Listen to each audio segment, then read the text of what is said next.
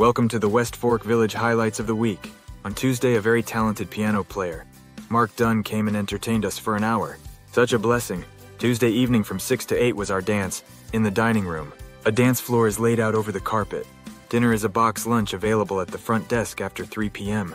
There was live music by a father daughter group. She does the keyboard, and he plays the electric guitar. They are very good. This dance was billed as a prom dance. The staff all had prom sashes, and a king and queen were crowned.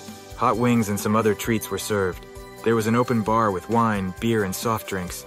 On Wednesday, there was Bible study, where we discussed fallen leaders. One of our residences gave some background on Juneteenth. On Thursday, there was play practice on a play we will do at one of our upcoming socials.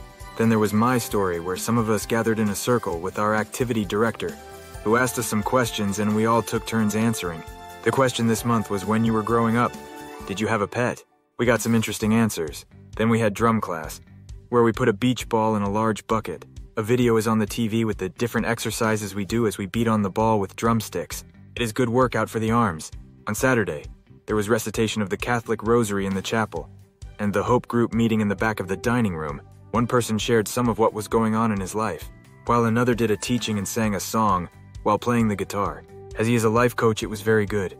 There were other activities. There was our birthday luncheon for June, for all those having a birthday in June, catered by a local cafe. And some of our residents took a bus ride to the WinStar Casino in Oklahoma. There was also the King Buffet lunch outing for some residents.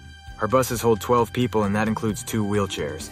Five people have to sign up for an outing to leave West Fork Village. Such a blessing to be part of this community. Independent living, where seniors thrive. Thanks for viewing this video. Please like, subscribe, and share with others. Rick Herring, P.S. To get information about becoming part of this community, send an email to Tristan at wfvleasing12teenoaks.net or call 972 721 1500 and ask to speak to Tristan.